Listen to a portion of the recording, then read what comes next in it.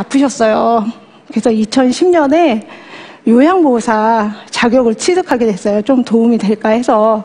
근데 다행히도 저희 어머님은 건강을 많이 좋아지셨어요.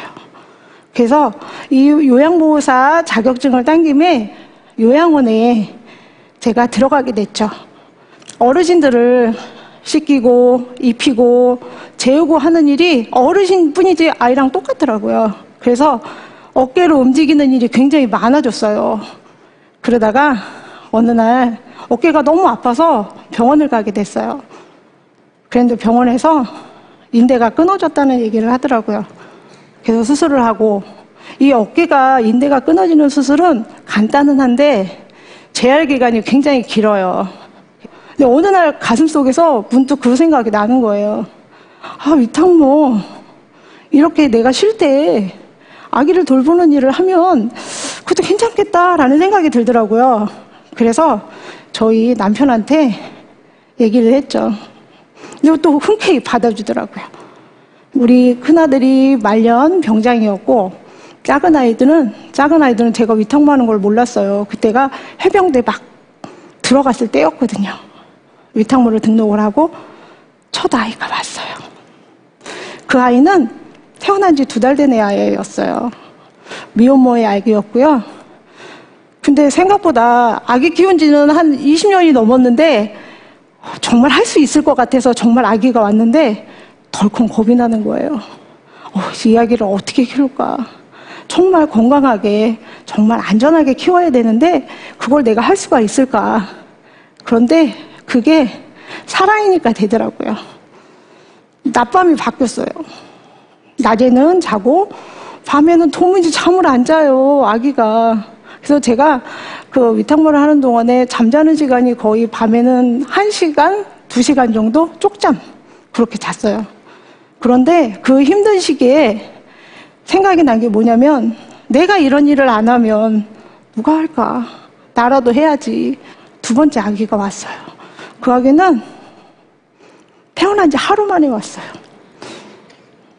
그 아기도 미혼모의 아기였거든요. 첫 아이를 보내면서 너무 많이 울어서 정말 두 번째는 못 볼 것 같은 거예요. 근데 다시 그 아이가 오니까 제가 또 안게 되더라고요. 그리고 정성스럽게 또 저희 집에 있다가 또 따뜻한 가정으로 또 갔어요. 세 번째 아이도 그렇게 보내고 또 네 번째 아이가 왔는데 이 네 번째 아이가 저희 나연이었어요. 나연이는 2.4kg에 미숙아로 나왔어요. 인큐베이터에서 일주일 정도 있었고요. 위탁을 제가 먼저 한 게 아니라 다른 분이 하셨어요. 그랬는데 그분이 갑자기 일이 생기신 거예요. 어머님이 쓰러지셔가지고 아기를 돌볼 수가 없대요. 그래서 우리 나연이를 가슴속으로 받았어요. 근데 희한하게요. 다른 아이는 낮밤이 그렇게 가려서 갈제까지도 제가 밤에 잠을 못 잤거든요. 근데 우리 나연이는 오자마자 10시가 딱 되니까 잠이 들기 시작하더니 아침 6시에 일어나는 거예요. 아기가 없는 거예요. 어, 진짜 너무너무 예쁘다.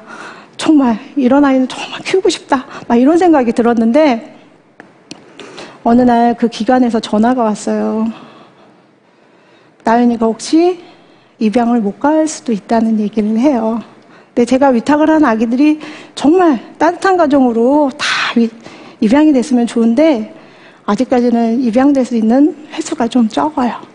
그렇기 때문에 그 얘기를 듣는 순간에 어, 보육원에 갈 수 있다는 얘기를 들으니 가슴이 어떻게 할 줄을 모르겠어요. 며칠 동안 고민을 했죠. 저희 애기 아빠한테 말을 했어요. 나 정말 이 아기 키우고 싶다고. 이 아기가 클도록 내가 사랑도 많이 주고 싶다고. 맨 처음에 저희 남편은 반대를 했어요. 내가 나이가 45인데 얘가 13살이 되면 우리가 60이야. 그런데 이야기를 어떻게 경제적으로 책임을 질 수 있겠니? 정말 경제적으로 좋은 부모한테 가도록 한번 생각을 해보자. 며칠 울었어요. 나도 그렇게 많은 돈은 아니지만 이 아이를 정말 키울 수 있다라는 생각이 들더라고요. 근데 말년 병장